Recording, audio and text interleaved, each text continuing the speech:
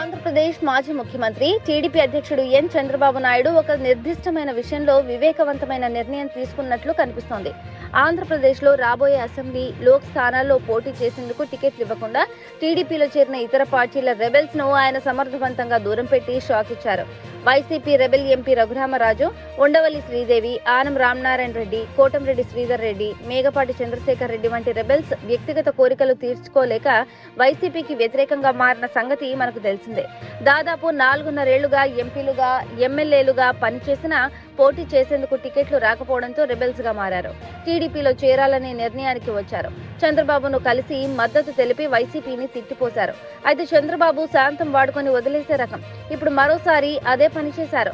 YCP నుంచి వచ్చిన ఎమ్మెల్యేలకు టికెట్లు రాకుండా చేసి చంద్రబాబు వెన్నుపోటు పొడిచారు. వెన్నుపోటు పొడిచిన వాళ్ళకే పొడిచి తనేంటో మరోసారి నిరూపించుకున్నారు.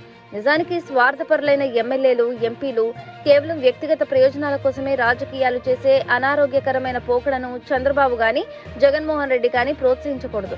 ఒక రకంగా చెప్పాలంటే ఈ స్వయం సేవకులైన నేతలను చంద్రబాబు పక్కన పెట్టేయడం సరైన చర్యనే.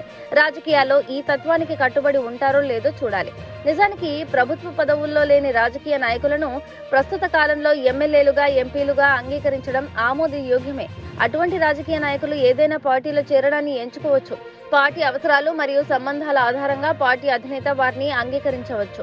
అయితే ప్రస్తుత కాలంలో ఇతర పార్టీలకు చెందిన తిరుగుబాటు ఎమ్మెల్యేలు మరియు ఎంపీలను ఆమోదించడం ప్రజాస్వామ్యానికి తప్పుడు ఉదాహరణగా నిలుస్తుంది.